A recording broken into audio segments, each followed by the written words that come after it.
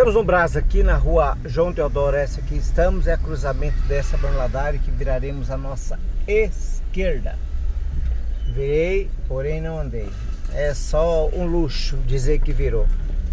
Esse é Brás, galera, esse é terça-feira, hoje é 14 de novembro, o chicote está estralando, aqui estamos na frente dos camelôs africanos e à frente também da loja Gajang.